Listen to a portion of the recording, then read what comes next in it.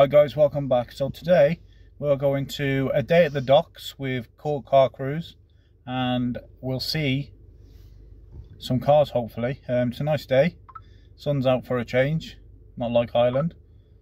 Um, we're in the TT, um, it's about a two hour drive, so I'll see you when we get there. Right then guys, so we've made it down to Cork after a two hour drive. Um, there's a lot of cars around, so that's better than yesterday when we was up in um, Kilkenny which only six cars turned up. So um, we think the police have blocked it off. So we're going to try and get a few clips and hopefully see a few cars.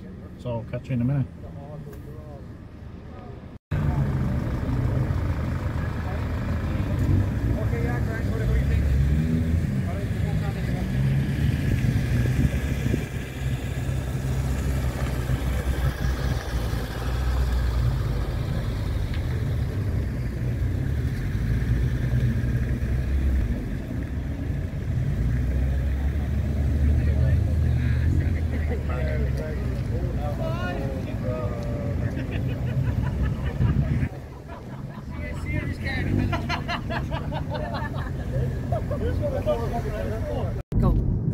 So guys, as you can see there, the police have locked us down. Um, so I'm going to try and find somewhere to park and we'll get some pictures. Um, upload the pictures. If I can get videos, I'll get videos, insert the clips. Um, basically, we've got down here, and there must be about 2,000 cars and the city is locked off. Police everywhere, checking number plates, everything. Driving licenses, the lot.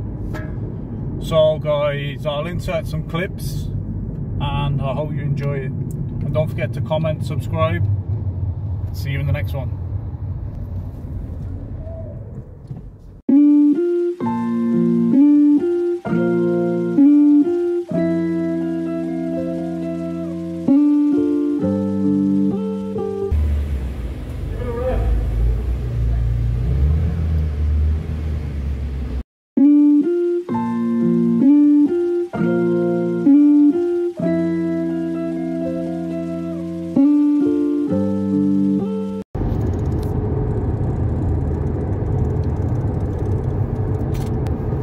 Guys, quick update. We're on to the second location of the evening. It's now 25 past 4. The police shut us down on the first one. So the second location is at a hotel, not too far away. It's about a 30 minute drive. Hopefully there's some more cars there. We get some videos, some pictures and see how these Cork car crews do it. See you in a minute.